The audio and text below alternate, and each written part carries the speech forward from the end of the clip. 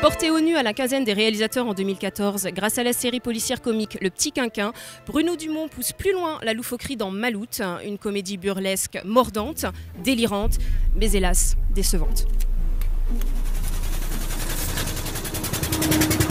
Quel bonheur à chaque fois de retourner sur cette côte. Oui, regardez là-bas, ces cueilleurs de moules. Qu'est-ce que ça pue cette carriole?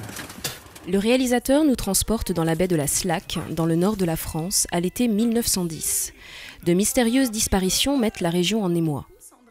L'inspecteur Machin et son adjoint Malfoy sont en charge de l'enquête lorsque débarquent les Van Petegame, des bourgeois lillois dégénérés, dont la nièce Billy va tomber amoureuse de Maloute, le fils aîné d'une famille de pêcheurs amateurs de chair fraîche. Oh les cœurs, oh les cœurs Amour, polar, cannibalisme et consanguinité. C'est le menu que propose Bruno Dumont dans cette comédie foutraque en costume, relecture burlesque et schnordique de Roméo et Juliette.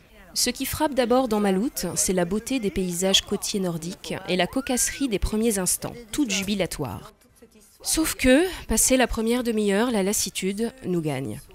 En cause, la surenchère de gags qui finit par nous gonfler comme l'inspecteur du film.